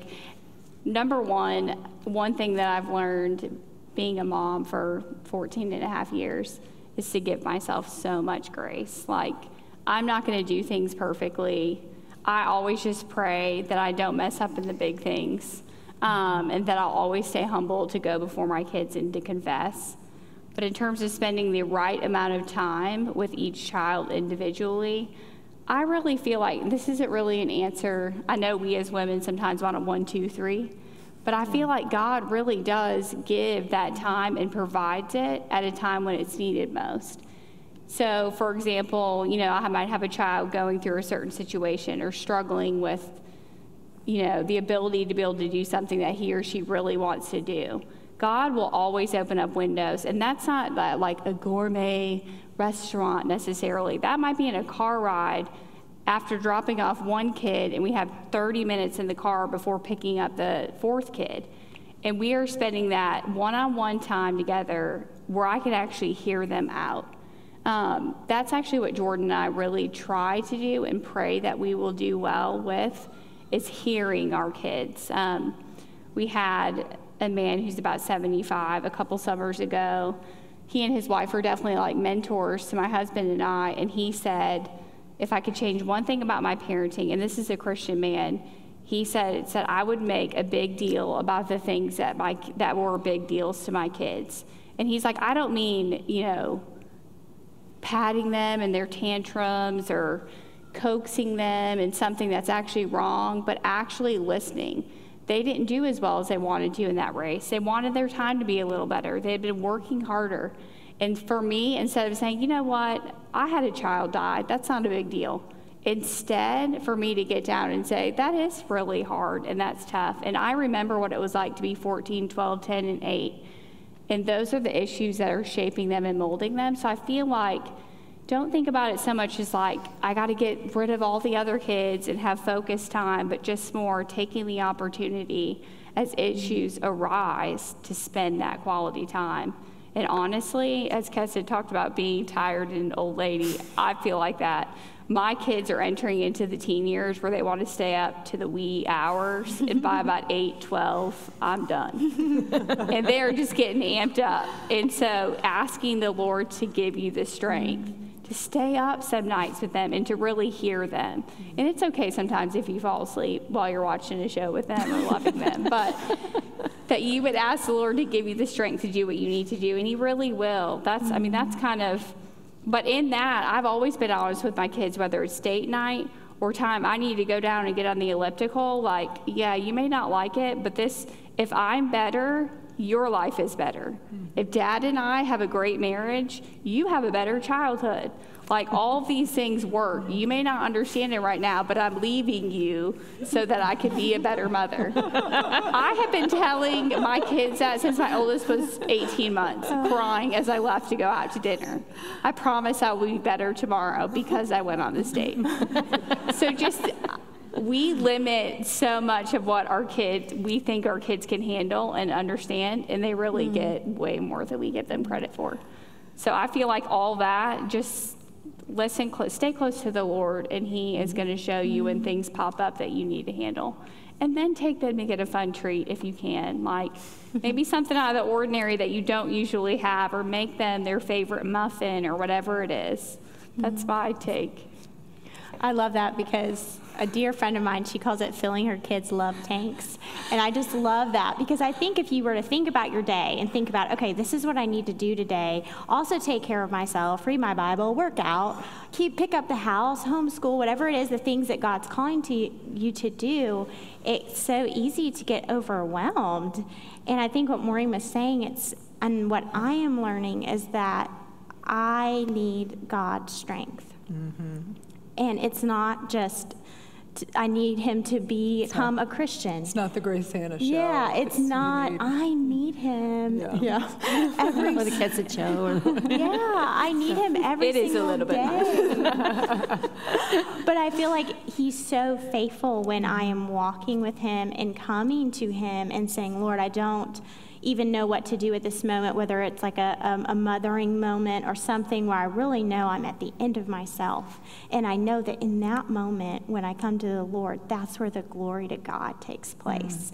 And that is where the wisdom hits me of what, whether it's from God's word or something. All of a sudden, I'll be laying in bed and I think, I need to go check on that child and lay next to them and sing and pray with them. And I know that those are things that are gifts from God. So I think the answer for me would be just walking with the Lord. And I think the biggest thing is being in His Word, like we talked about, and prayer, and, and just living your life like you really are not enough. Mm. You know? Mm. They nailed it. Nothing else No, to add? no. How about the second part of the question, dealing with the struggles in your own life while still Oh, needing? Do you yeah, want to yeah, add yeah. any to that? I'm, I mean, I'll, I'll say real quick, just, I think my children bring out a lot of the struggles in my own life. so I see my sin, you know, because if I were, they, they show me my sin. And so I think that I'm actually dealing with the struggles of my life because I'm with my children and God is sanctifying me through them. And so um, that's a beautiful thing, and it's a gift that I thank God for daily. Um, that those, I don't go off in a corner and handle my own struggles, but we're right there, and, and I have that opportunity to actually handle them in front of them too, um, which is humbling. Well, I was going to say with that that a lot of the things that children learn as you as you think through that you're always discipling your children. You're either discipling them positively or it can be negative. But with that, as you are biblically handling the struggles in your own life, they're learning from mm-hmm. that. And you say, "I'm really having a bad day today. My life. I mean, there's a lot of things I'm ungrateful for. Or there's something going on in my life that I can't even share with you, children." But here's how I'm going to handle it. Like you, you can disciple and teach them through mm-hmm. those, and that's giving to them mm-hmm. as as you share with them that you're not like I'm just the perfect parent and I have it all under control. And this is how you always need to behave. I'm having an issue right now, and it's really hard for me, and I can't tell you all, but you know, pray for me, and I'm going to God's word, and this is, you mm. know, and I want it that because you're going to have these issues too. So that's, mm. you know, a way that you're giving to them. Um, okay, number three.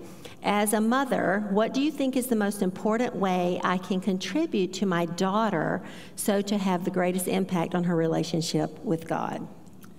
So this, I don't know. I mean, Lord, Lord willing, I will be modeling this with my own daughters, but I know this from my own mother.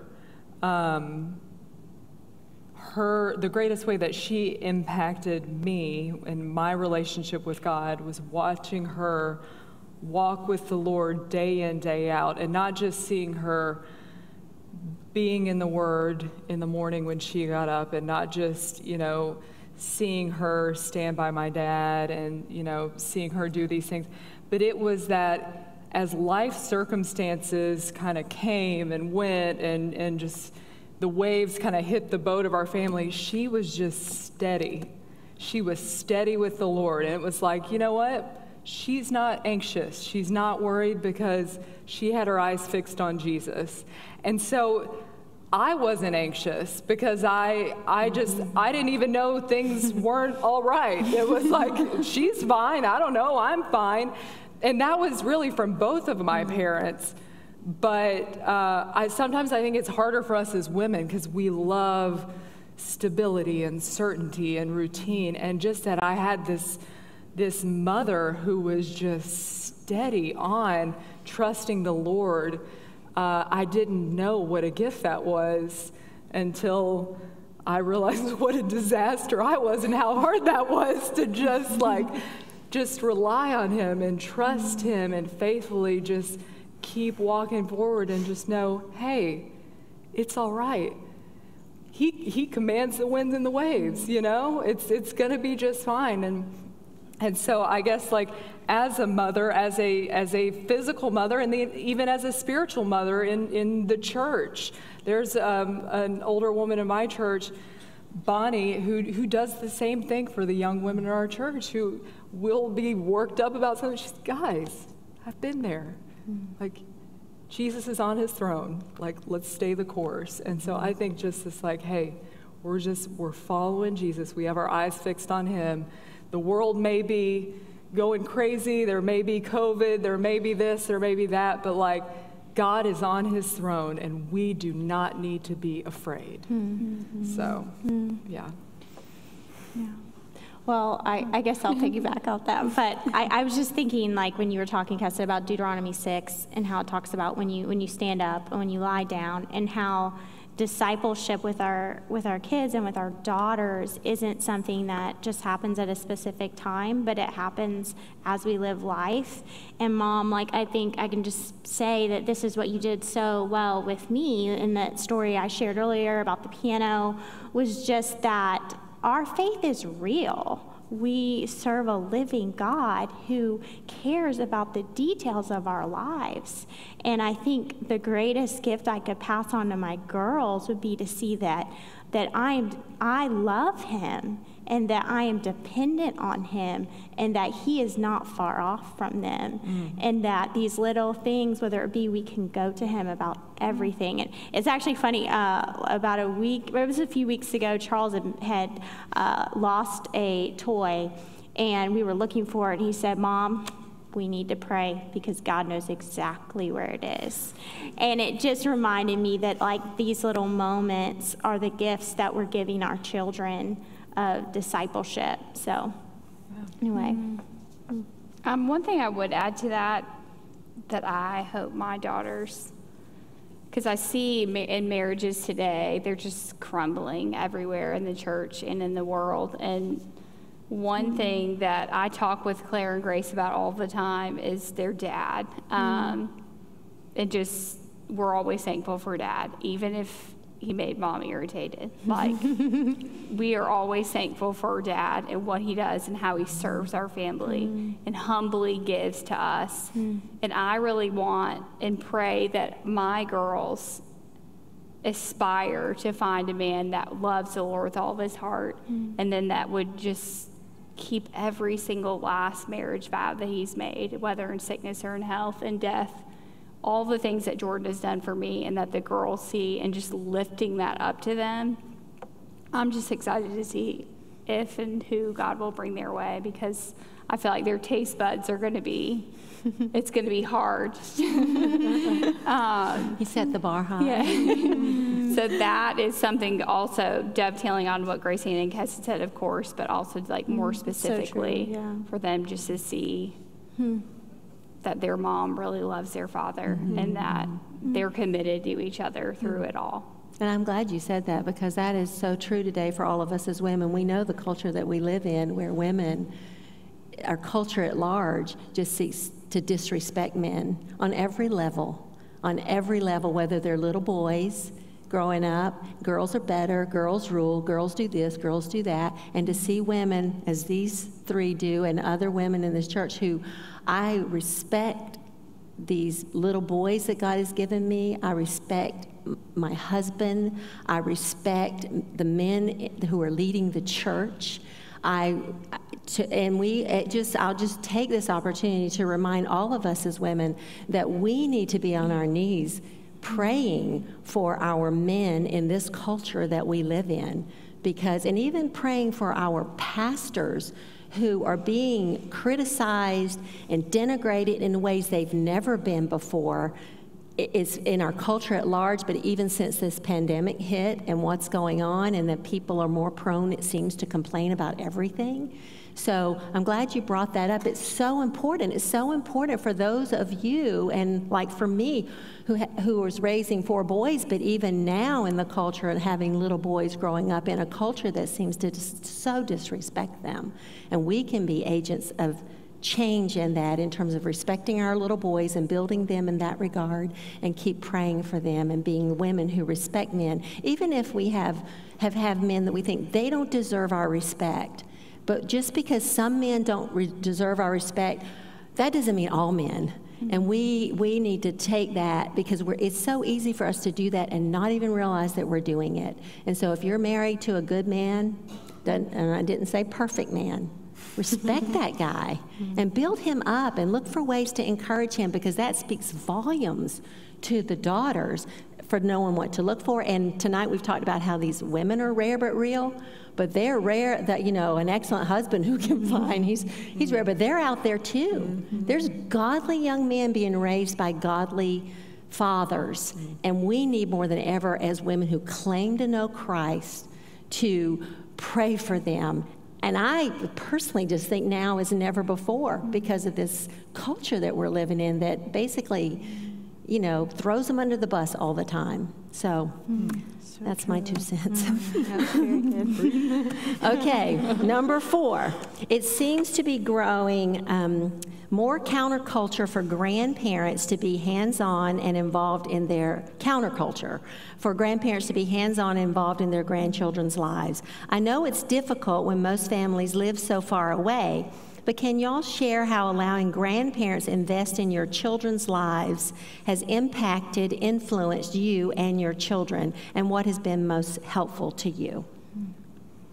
Oh man. So, I mean, I feel so spoiled to be talking about this. Like, my parents and my in laws are such a gift of grace to us. Like, they, their investment in our kids, not just in wanting to teach them about the Lord, to teach them literally God's word when they spend time with them, but also to teach them how to bake, how to mm-hmm. sew, to let them go nuts with crafts and dress up clothes and and and just to to teach them skills and to and and to fill in the gaps. I mean, we all mm-hmm. have gaps, right? We're we're limited in every house you do things a certain way and you don't even know the things you're missing and not and so to have these uh, these older women and, and men, their grandmothers and grandfathers who've gone before and have that wisdom and come in and help you kind of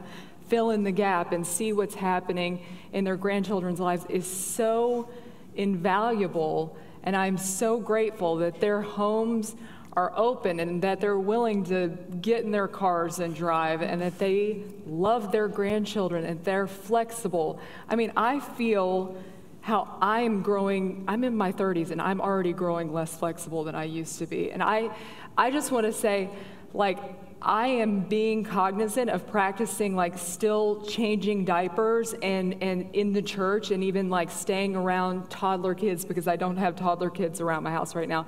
And I think that we all need to be doing that, like staying fresh on those things so that we can stay flexible. We want to be always willing to have the little kids around. We always want to be willing to do that. But as grandparents, I'm so thankful that Carl and Audrey are always welcoming the masses into their home and my parents. And, and I think it's a two way street. I think, like, as grandparents, to open, open your lives and your homes and to invest in your grandchildren, what a gift that is. And then for the people who have the, the kids that you want your, your parents to invest in, that takes some flexibility. So that might mean getting your body in the car and driving to see them and staying at their house and like flexing a little on your end too. And maybe they don't do things exactly how you want them to do things. And like maybe when you gr- grew up, like things weren't done just exactly how you thought they needed to be done. But it's like it's a two way street. And even though, I mean, I hit the jackpot with my in laws. I, like there are still things that we do differently because we come from different families. So of course, with my mom, everything she does is perfect, right? because it's my mom. But like I'm her daughter-in-law, so of course there's some stuff that I do that I'm sure she thinks, who is this bozo? But she doesn't. She doesn't ever let me know that. And so there's like there's grace and there's flexibility. And so you just you have to like just know that it goes both mm-hmm. ways with the children uh, with both with all the generations that you have to be flexible to make this work and to mm-hmm. get that rich investment from the other generations. Mm. Who is this bozo?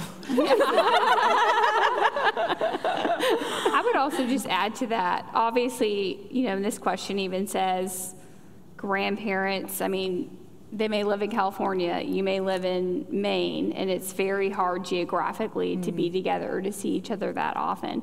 I know the things that have meant the most to me and my husband and our kids are just the little memories that are made, like whether it's Emma's pancakes or grandma's French toast, like all the things that we kind of think eh, back to my thing of like making a big deal about the things that are big deals to them. Like, wow, you get that excited over a pancake or a piece of French toast. It's like, yes, but that's like even, and I think my kids have told you, like, well, we're with Grandma Jolly, we eat French toast. Well, we're with you, we eat pancakes. so, like, grandmothers out there, just make your own little memories with your grandchildren because they cling on to them. Mm-hmm. And they may seem insignificant to you at the time, but those are the things. I mean, I think my kids are always going to be talking about pancakes and French toast. Like, so they'll probably make their wives. I mean, maybe. Well, Luke will be handy in the kitchen, so he'll whip up both. But the, um, so I think that is a critical part, and then just not comparing grandparents. Like some grandparents don't know the Lord, or maybe both sets of grandparents don't know the Lord. Yes, you have to be careful about that and walk in wisdom but also letting your parents in to love your kids. And again, back to Chesed's comment, everything's not going to be the same because we're all different people. Mm-hmm. Mm-hmm. Nothing under my roof is going to look the same under your roof. And we need to be confident and okay with that. Because Um, we're still called to honor them. Yes. Like, honor your father and mother. That's not like a kitty commandment. That's like a commandment for all Lifetime. of us. Yes. Right. Yeah. And so maybe naturally you have better relationships with a certain set over another, but I feel like asking the Lord to make that clear to you and when to let the kids go or to have the grandparents come, or even when they come to your home, making it special, like having their favorite drink or their favorite coffee or peanut butter or whatever it is, like you also have those things so that mm-hmm. they feel welcome in your mm-hmm. home. As a daughter in law, I know sometimes maybe one day it's going to feel weird if we you'll have to do it four times over. Well, your sons-in-law, who knows what they're going to be like? But I mean, they you may, may be thinking maybe I'm not wanted here, and you want to make your home welcoming. Mm-hmm. So for the grandmothers, as a daughter and a mother. I just love when you guys make mm-hmm. like love our kids and care about what they care about, mm-hmm. and even if it's silly, just make a big deal about it. I love that. And I mean, I also am so blessed with just the best in laws. And one of the things I love that both my mother in law and father in law have done, and my parents, is that they have saved our toys. And I know it's just like a small thing, but my kids think it is the coolest thing that at Grandma Lulu's, they have all of daddy's toys and they pull them out and they play with them. And my mom did the same thing. And I think that's kind of like a tip for us, our generation, is what are the little things we're doing now? To prepare. I mean, maybe you don't have to save everything, but you know, like the little things that really make it special. And also, just like they mentioned, like I love seeing my kids being loved on in a unique way that actually through my in laws I get to see in a very special way. And my mother in law does this so well. She'll send, like, when we started school, she sent a box, like, um, for back to school. And she sent a letter in there and, and just wrote specific things about what she was praying for each one of my children as they started school. And even as we lived far away, it just was so meaningful and it made them a part of our first day of school. And so I love that. So, yeah. That's great. Okay, number five. Um, this might be the last one. I'm not sure. Um, I'm not sure, Erica. um, I'm graduating from high school this year. How did each of you find other Christians and grow in the Word when you left home?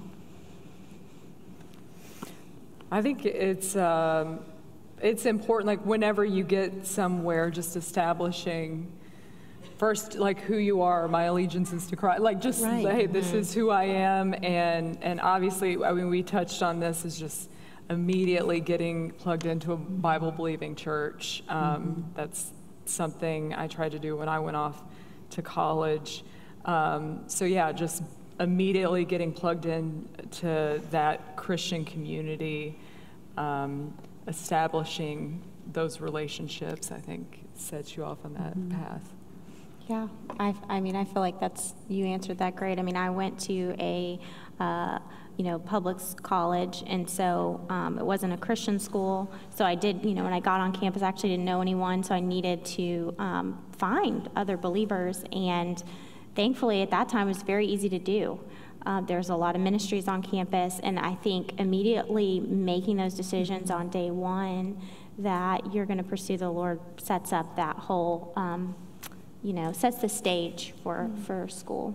And your schedule too. Yeah. Like, how am I going to fill my time? That because you have that time, even when you're in school and you don't you don't know it at the time, but you have more time than Yes, you you're have more time. have. And so you want to be intentional about how you're going to set your schedule and what you're going to fill it with, and and doing that with intentional God honoring things. Um, I would just add to that as well, and this is something I tell my kids all the time. And I'm assuming you're a believer, you're asking this question, you desire Christian fellowship, but being confident in who God has called you to be. And knowing that your life, if you're walking with the Lord, is going to look so different from that of your peers. And you have to be mm-hmm. comfortable to flesh that out. And I've told my kids, and my two oldest have started to see this, even though they doubted me initially. But then they come back. We've all, as moms, had those moments where your kids question, and they come back and they're like, "You were right." But just to be mm-hmm. confident, and that's like I, you know, so whatever your standards are, what God has called you to, to hold through those, but not to bury yourself in your dorm room or your apartment building or even your parents' attic or basement that you rent. like, go out and then just be comfortable and confident in sharing that. And I always tell my kids, like, you will see at first, the initial response is kind of like, she's kind of weird. Like, she doesn't do that. but then the next thing you know, the next encounter, it's like you have all these people flocking towards you. And it, again, it's not about you or me or having 50 friends, but it is about not abandoning who God has called you to be. That's what I would Yeah, add. that's great. great. Ladies, thank you so much for this peek into your life. You are you are all rare, and we are thankful for your realness. So thank you, thank you, Thank thank you, you, Erica. And we have some special gifts. If if I have the live stream baskets, my daughters were just like, okay, I got this, I got my job. I'm, I'm gonna do it. I'm gonna do it. You're doing it. So we have a gift for a live streaming person. So you stay tuned. Let me dig deep. Okay. This is for Jenna. Jenna? I don't know your last name.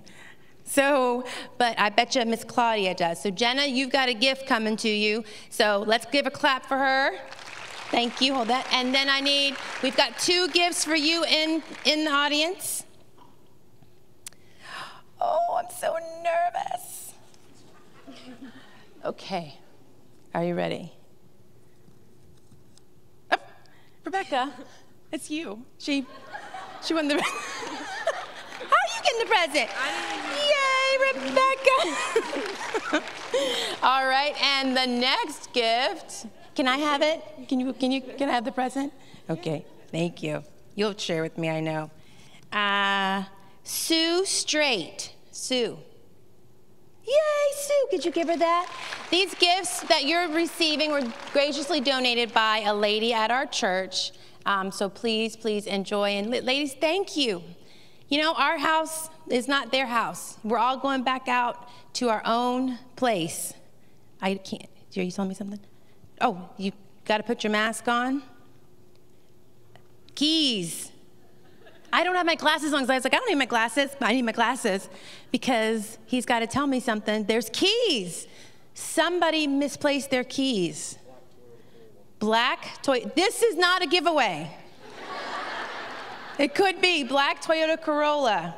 So I've got your keys. So meet me up front if they're yours. I don't have my glasses on because I thought I don't need no glasses. I need my glasses.